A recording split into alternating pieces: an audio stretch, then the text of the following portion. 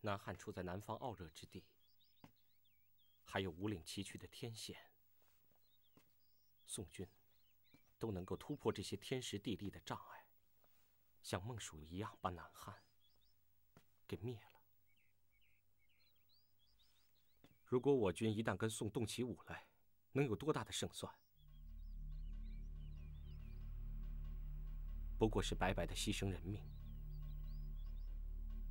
所以今天召各位来，是要大家想出一个委曲求全的办法。国主，委曲真能求全吗？国主，宋廷在意的是国主不朝，也许国主应该去一次。不能去呀！没错。国主，您千万不能到汴京啊！国主，臣受先帝顾命，受托照顾国主安危，臣誓死不同意此意。如果朕一个人到汴京去，能够保得国家长长久久，那倒也无所谓。就是怕去了只是上当，还受辱，那就毫无意义了。国主。那要不派一名亲贵代表国主去朝贡下？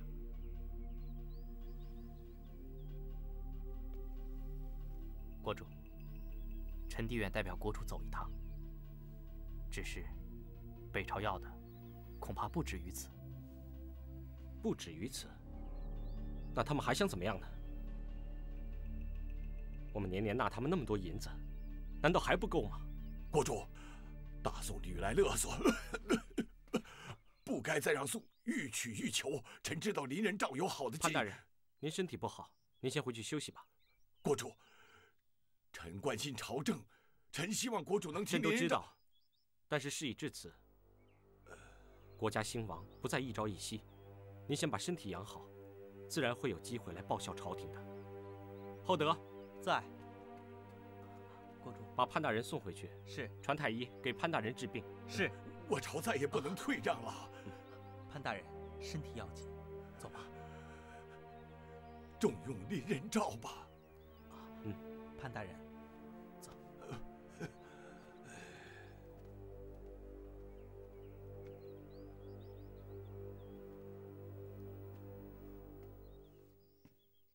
继续说吧。北朝到底还有何要求？汴京常有人来，说宋皇帝和晋王的打算，所望甚奢。奢到什么程度？臣不忍说。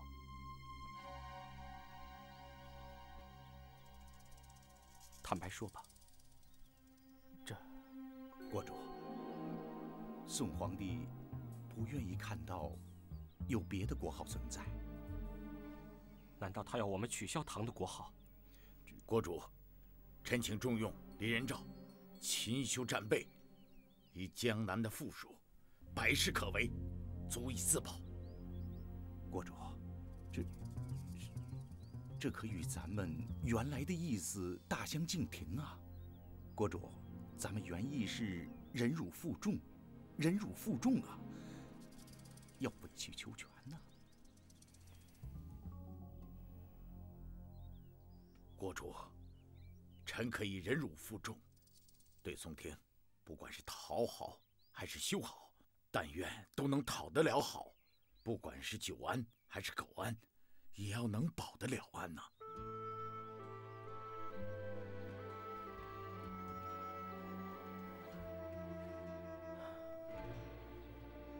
做臣子，他们都是为了朝廷设想，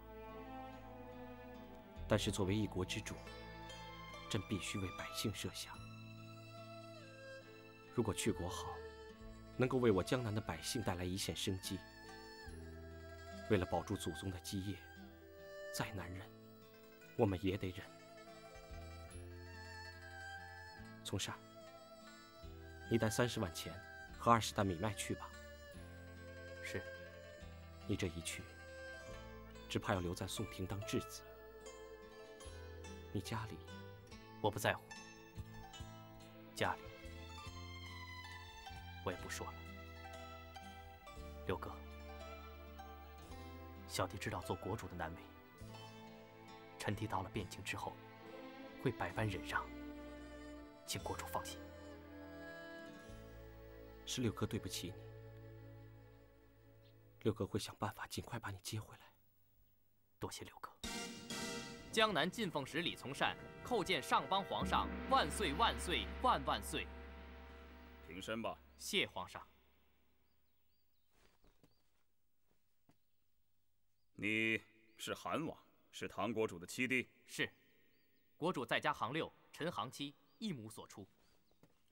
虽是一母所出，但是你可要比他勇敢的多了。朕屡次邀他前来，他就是不来。他是不愿意，还是不敢呢？启禀皇上，毕国主身体向来虚弱，不宜远行，但是。国主为了表现他对您的诚意以及对皇上的忠心，国主已下诏自动取消唐的国号，而后，唐不再是国，仅是江南地区，唐国主改称江南国主，唐国印改称江南国印。臣上表，请皇上日后所诏，直呼国主之名，李煜即可。嗯，好，朕欣然接受。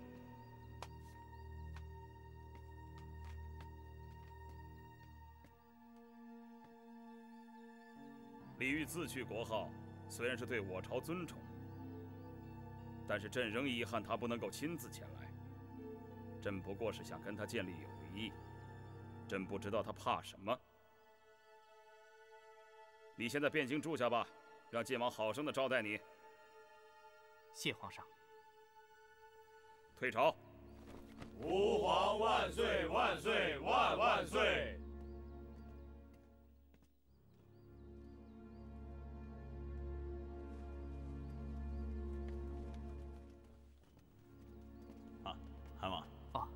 你这次可得要感谢晋王啊！你看，人家吴越的进奏使比你早来好几天，而且带的贡品也比你们丰盛的多呀。可他连晋王的面都没有见到，更别说见皇上了。多谢赵大人和晋王，从善是感激不尽啊！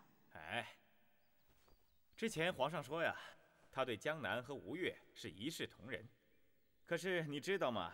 吴越的国主已经来京多次了，而你们江南的国主却一次都没来呀！我们二人只不过是想早点提醒你，让你知道皇上心中的遗憾。正是，是，下官会给国主写信。好，哎，以后咱们就是朋友了，要彼此关照。今天我在府上特意为你设宴，请吧。多谢晋王。走吧，晋王请，晋王请啊。赵大人请。请。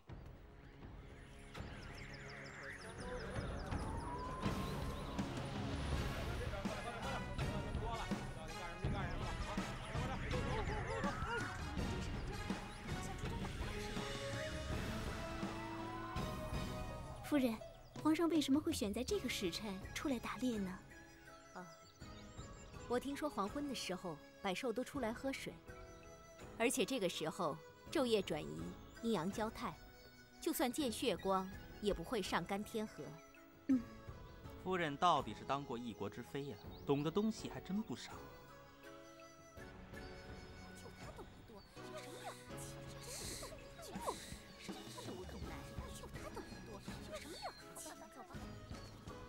据史书上说，秦师其路，天下共逐之。朕每次行猎，都能感觉到这句话形容的真是太妙了。这支路已进入了皇上的为朕之中，当今天下已无人能和皇上争逐了。皇上，路在那儿。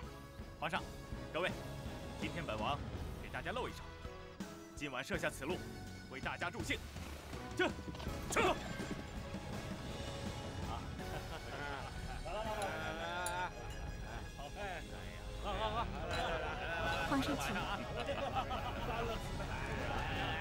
来来来，朕敬大家，大家共饮此杯。谢皇上。来，吃吃吃。来来来，大碗喝酒，大块吃肉啊！来来来，满上上。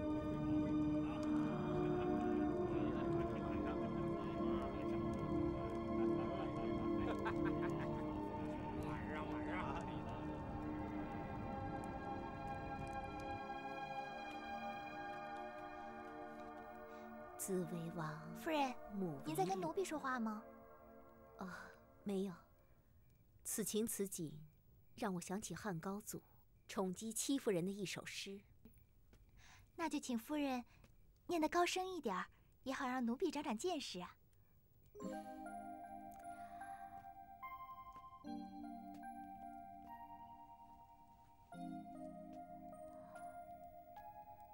子为王，母为鲁，终日冲薄暮，常与死为伍。相离三千里，当谁使告汝？常与死为伍，奴婢还以为是什么宫中艳词呢。那戚夫人不是宠姬吗？为什么她写的诗这么悲哀呢？我来告诉你吧，其实道理很简单。自古以来被皇帝宠幸的公鸡和爱鸡，只不过是被人玩耍的功绩而已。你给我滚开！给我滚！你信不信，本王连他也一并拿下？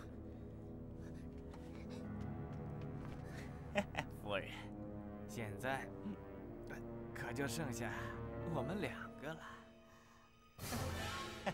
皇上应该就在附近。只要我一声喊，他就会来。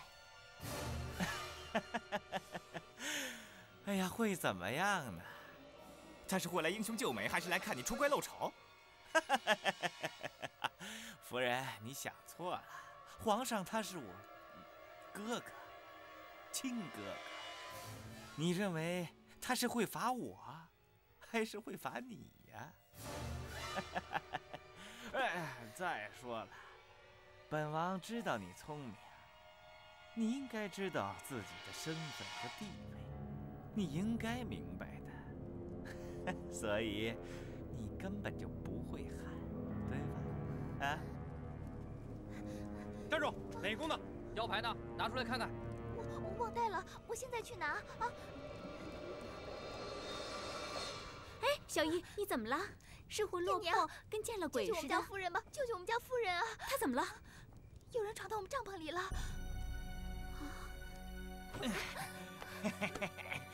哎呀，本王喜欢的就是你这样的女人啊！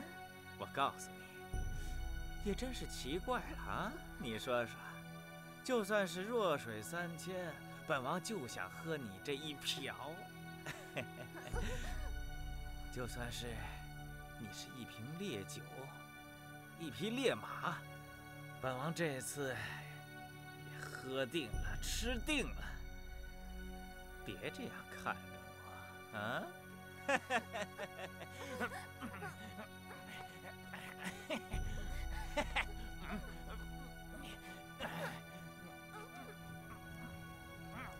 谁？是谁？谁这么大胆？你说呀，小玉！你不说，我就去告诉皇上啊。小的看还是别去的好，否则这件事情张扬出去，恐怕见阎王的第一个就是你家夫人，其他的知情人也看不到明天的太阳。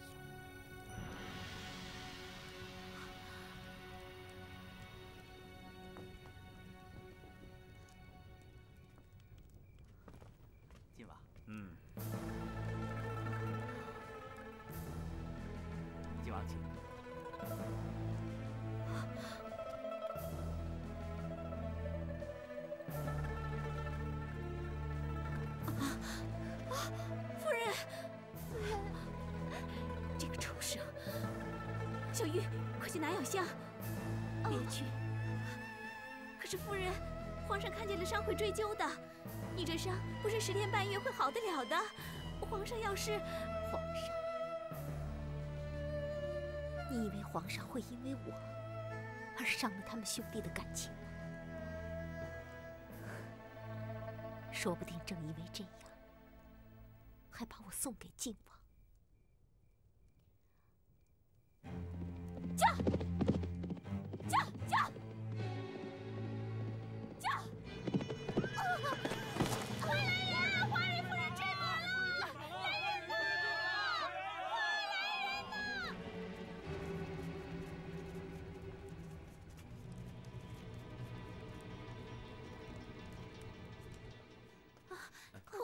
人。怎么样了？啊，快起来吧。太医，夫人的伤势如何？夫人没什么大碍，只是皮肉之伤，微臣立刻开方，旬日可愈。另外再开几贴独参汤，给夫人调补调补。是皇上。快去。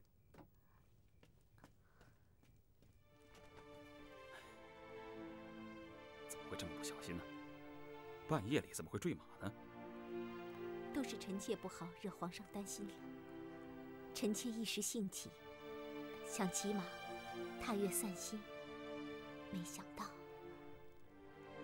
马是火畜，再驯良也还是有烈性。朕从小就与马为伍，到现在还不敢说十拿九稳呢。以后骑马要多加小心一点。是让朕看看你的伤势吧。啊，没关系。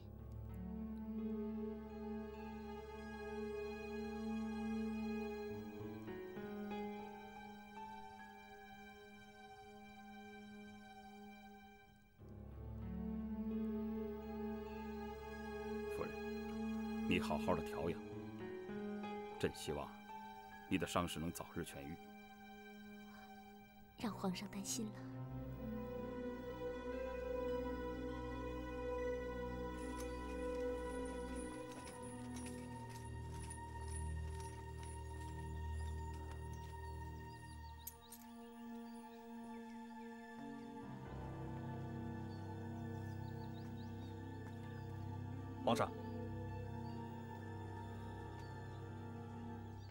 臣已经看过了，那匹马是被人戳伤的，而且看伤的位置，好像是被骑的人故意伤的。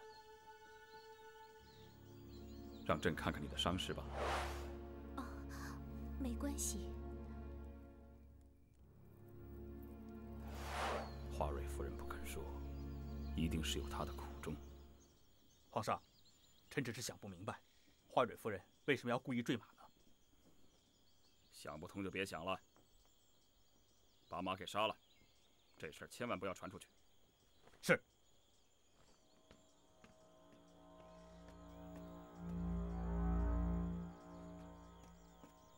骑马。皇上有没有说什么？皇上把那匹马杀了，他没有怀疑什么吧？应该没有吧？好，那我知道了。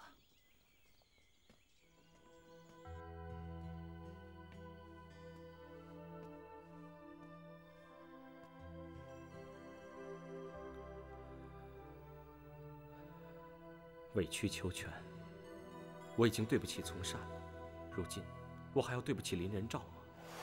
奇迹之奇就在于臣带兵过江北上，以寿州为根据地之后，请国主立即通知宋朝廷，就说臣举兵叛乱，请宋皇帝遣大军围剿。此计若成，将来臣归国受赏；此计若不成，国主，请尽诛臣之家眷。爱卿，为了江南百姓免遭战火波及，朕只好如此做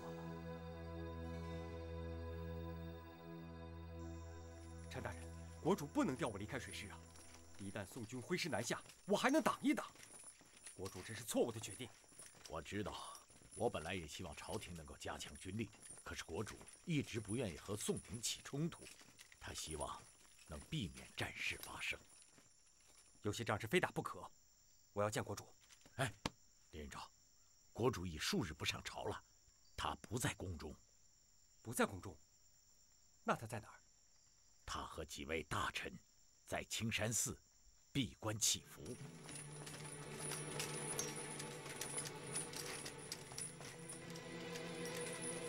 施主，林仁照前来谒见国主，请师傅带路。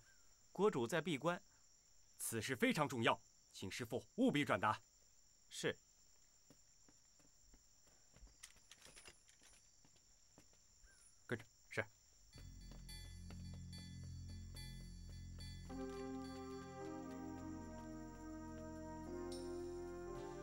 是我。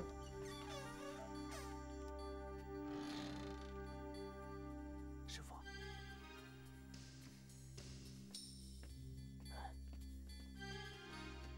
国主还在里面闭关大战，怎么能会客？把他回了。是。快快，要出大事了！快点啊！撤！快撤！撤！将军，已经等了数个时辰，咱们还要等下去吗？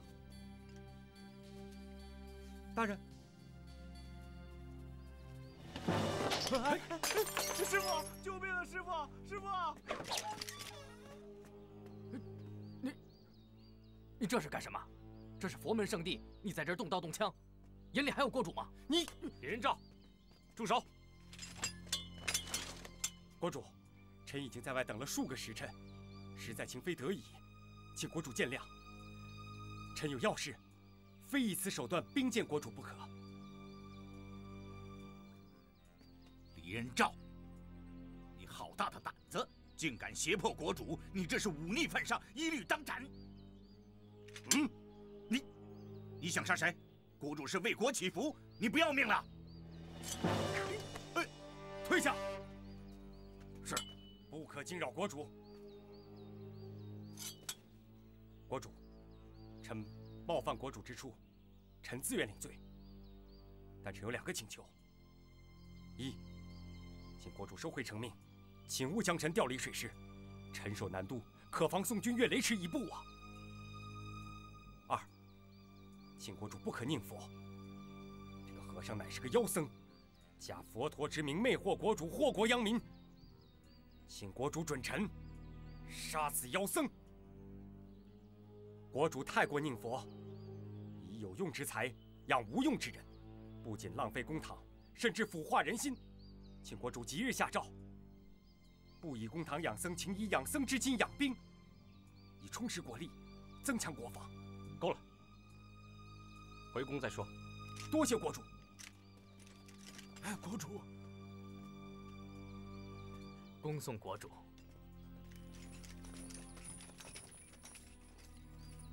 哎，好你个林仁照！当年周世宗革新积弊，很重要的一个措施就是毁佛废寺院，令僧尼还俗归农，增加生产人口。西毁铜佛以铸钱，改变了五代以来钱币的匮乏。国主，多一个佛徒，朝廷就会损失一个丁南的富邑。您为佛门浪费了太多的心思和银两，恳请国主以家国为重啊！国主，潘佑大人。朕不是让你安心在家养病吗？国主，臣的病好多了。臣听说林仁照兵谏，这是何等的大事，臣能不赶来吗？你来的正好。李仁照携带兵器，属下威逼国主直言犯上，是可忍，孰不可忍？再有冠冕堂皇的理由，也是不可取的。再说了，国主闭关，也是为了全国百姓的福泽。此等臣子死有余辜。不杀之，难以儆效尤。国主，国难之秋，李仁照忧国忧民，心急如焚，请国主体念他一片赤诚，恕他无罪。国难之秋，人人都心急如焚，难道心急如焚就可以目中无人了吗？国主，您要杀臣，臣无怨言，但也请国主听臣把话说完。国主。我朝与宋朝的疆土虽然以长江为界，但是两岸百姓原本可以自由往来，交通无碍。可最近，北朝下令禁止商旅过江，亦不准百姓沿江樵采渔猎。这种情况不寻常啊！最近有商人向末将密报，说宋朝廷造了数千战舰停在荆南，臣有十成把握，他们造这些战舰是为了伐我江南做准备。请国主下令，准臣。将这些战舰焚毁，这怎么可以呢？如果宋廷以这当借口讨伐我们呢？那我们跟南汉不是没有什么两样了吗？朕把你调职，就是担心你的冲动。朕怕的就是你轻骑战端。国主，可宋的战舰就在那儿啊，我们不破坏它。它将来必成祸害，不可不防啊！国主，您将臣调走，万一宋军南来怎么办？谁可接替臣？哼！有谁能比臣更了解我江南水师？你这是危言耸听，老是拿宋军当借口，搞得我们人心惶惶。宋伐孟蜀是因为孟昶妄自尊大，企图勾结契丹；宋伐北汉，那是因为北汉跟他有世仇；宋伐南汉，也是因为南汉先侵入了宋。我们代宋既没有野心，也没有占他便宜，他为什么要伐我们？哼！就算宋皇帝有这个野心。我们难道不应该更加小心翼翼，不要挑衅他才是？啊哼！你把国主与孟昶、刘昶相比，你的心思就是不正。国主，臣这是未雨绸缪啊！许攸，你可以带着国主念经拜佛，但是你绝不能把国家带入亡国之境。只求摇尾乞怜，小心狗权。自己没有一点骨气，这国家能强得起来吗？能强多久啊？国主，狗权只是一时，国家要长长久久，一定要靠我们自己防御啊！您让这种人带您去听和尚谈佛说法，还不如听听林仁兆的强国之法。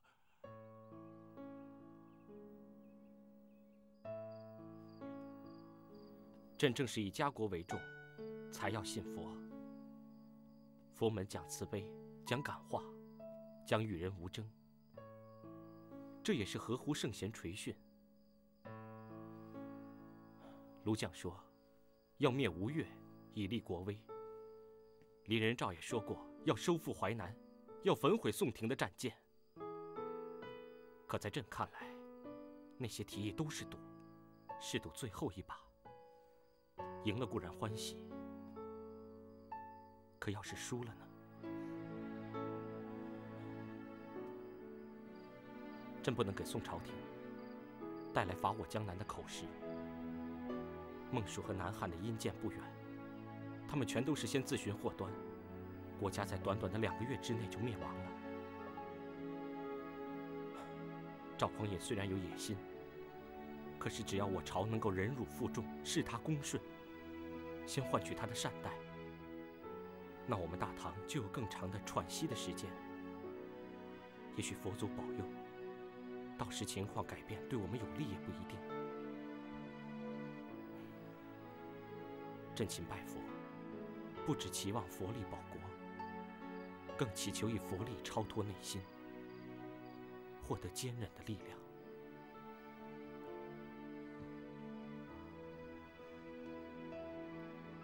不管怎么样。臣妾都支持你。你不是有事要跟朕说吗？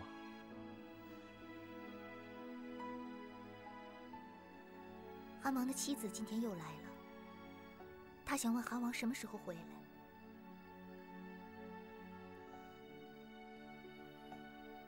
他不能回来了，对不对？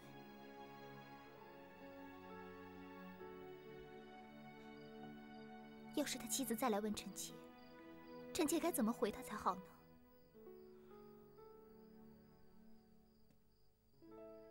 你就告诉他，朕会写信给宋皇帝，请他早日让从善回来。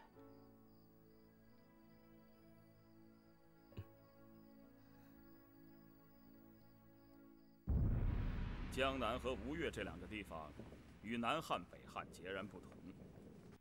只要他们能够保境安民。那子子孙孙就可以长享富贵。是，多谢皇恩。嗯，从山啊，你不介意朕直呼你的名字吧？啊，朕是把你当做自己人呐。是，皇上视臣为自己人，是臣的荣宠，臣多谢皇上。嗯，你来此许久，朕还没有给你封个爵位。这样吧。朕就封你为太宁军节度使，将来去镇守山东兖州。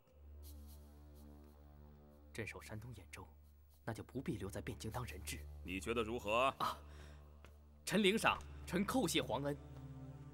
嗯，平身吧。谢皇上。皇上，节度使李大人要出镇兖州还没那么快，要不要给他在京城找个房子？那是当然了，你们就帮从善找一处合适的房子。如果找不到，就在汴河旁找一块地给他盖一栋全新的。臣遵旨。不不，皇上，臣随便一间小屋就可安身，不必浪费朝廷的公堂。哈哈哈哈哈哈！你还没有上朝，就已经想到要替朝廷节省公堂。有你这份心意，那朕更要替你找一个更好的、更舒服的地方住下来。这件事就交给晋王去办吧。是，臣遵旨。皇上，要不要多盖几栋？行，你去办吧。哎，皇上，臣斗胆，臣在没有出镇兖州之前，可否先回一趟江南，告诉妻小，以免他们挂念。嗯，出来这么久了，想家也是在所难免的。这样吧，朕就下诏李煜，把你一家大小送来，让你们全家在此团聚吧。我都回不去了，怎能再让他们来？啊，皇上误会了，臣之妻向来凶悍，能远离他，臣求之不得，又岂能再将他带在身边呢？哼，好吧，你怎么说就怎么好，随你的意喽。是，谢皇上。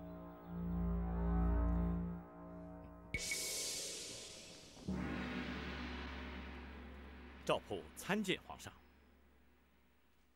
这是江正从江南托人呈给朕的一封信，你看一看。敢兵谏李煜，这个人肯定是一员猛将。林仁兆，啊，臣知道，此人小名叫林虎子。听说他浑身上下，从前胸到后背，请高将给他赐了一头白额金睛老虎。此人年少投军。屡立奇功。江南元宗在位时，他就获拔为节度使，将重兵镇守武昌，而且是专为抗宋。此人要不除，臣担心将来定是个祸害呀。好，你设法去把这个人的画像弄一张来，朕倒要看看，这头老虎到底有多么的凶猛。臣遵旨。还有。朕近日来诸事烦心，你去安排一下。下个月，朕要到山里头去静思个几天。如果没有大事定夺，就不要来烦朕了。啊，臣明白，臣这就去办。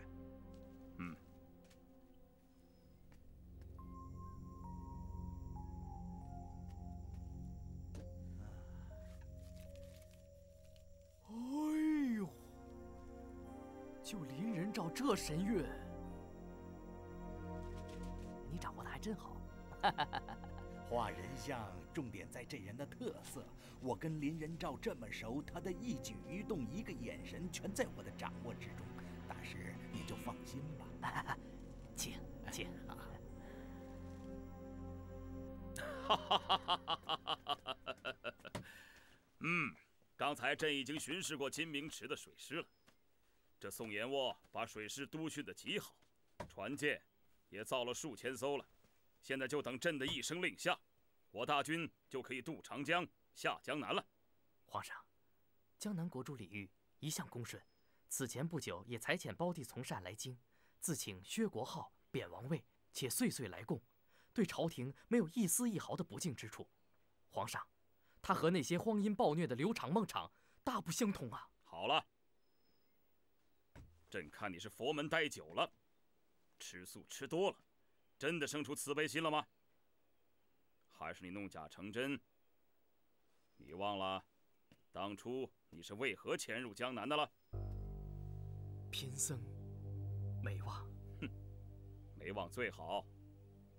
朕不是不能容李煜，这是国家一统的千秋大业，而不是个人恩怨。朕是以战止战。盼望的只是一战成功，从此天下就太平了。这个道理你还不懂吗？贫僧明白。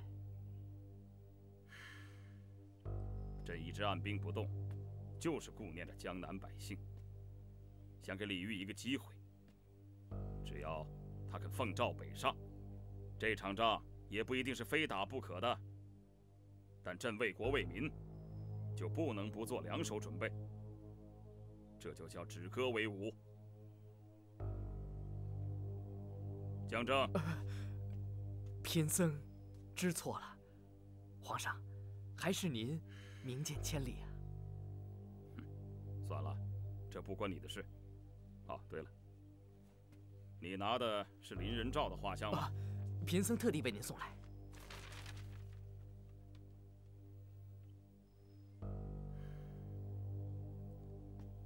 朕下个月初三想到山里头去静思几天。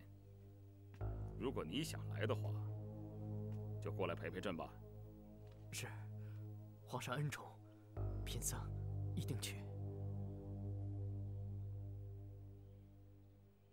佛祖，您佛法无边，广被众生。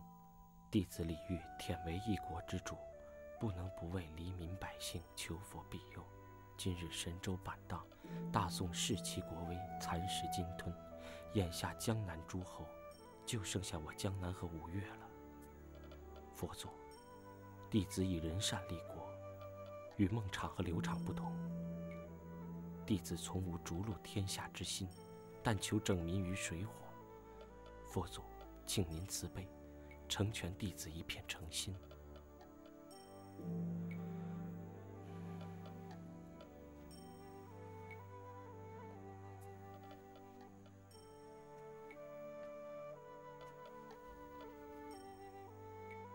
贫僧参见国主。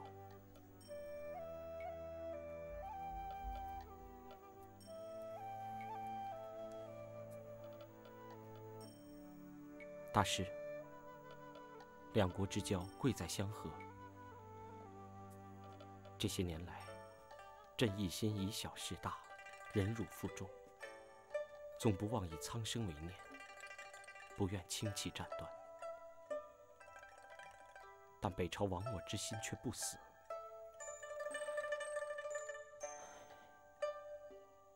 朕不愿意伤人，又希望家国得以护佑。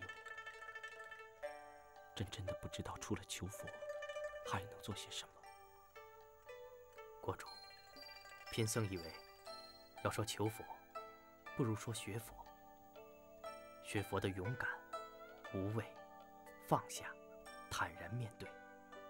在佛的揭示之下，当困难来临的时候，我心能平静，不逃避，和勇敢承担。大师。朕该放下的是什么？该面对的又是什么？放下的是身段，面对的是灾劫。国主，一定听说过佛陀在八十岁高龄的时候，独自去阻挡毗琉璃王大军的故事吧？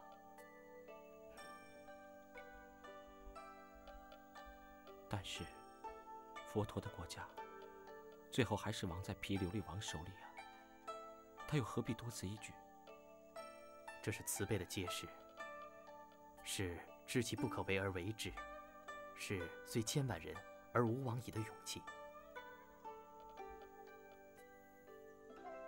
国主，贫僧得到一个确切的消息，大宋皇帝过几天要到山中小寺住几天，您要不要去跟他见一面，请他高抬贵手，放过江南，与您和平相处，使江南免于干戈。要朕去见他，求他。是。犹如佛祖去求毗琉璃王退兵，贫僧愿陪同前往。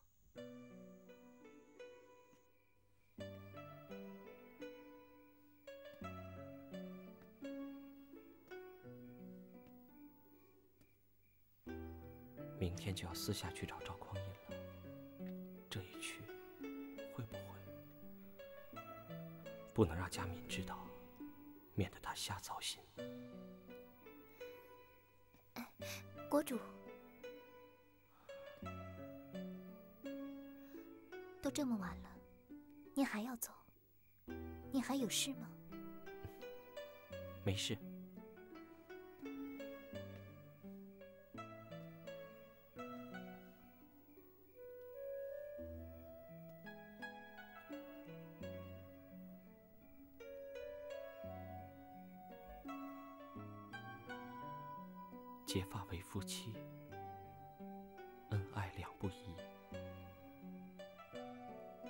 在今夕，燕晚计量时。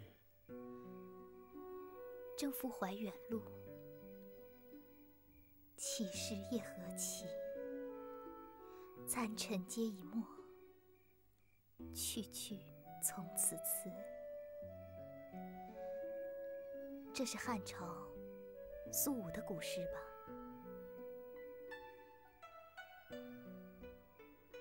努力爱春花，莫忘欢乐时。生当复来归，死当长相思。臣妾都不念了，你还念？什么生也死的？这是苏武出使匈奴时写的。你又不去哪儿，干嘛好端端的念这不吉利的诗？朕是看到你的头发，让朕想到这首诗。恩爱夫妻生离死别，真不容易！你又说什么生离死别？臣妾一辈子都不要跟你分开，臣妾要永远跟你在一起。朕不说了。人生苦短，能够当恩爱夫妻是多大的福分。朕也舍不得跟你分离啊。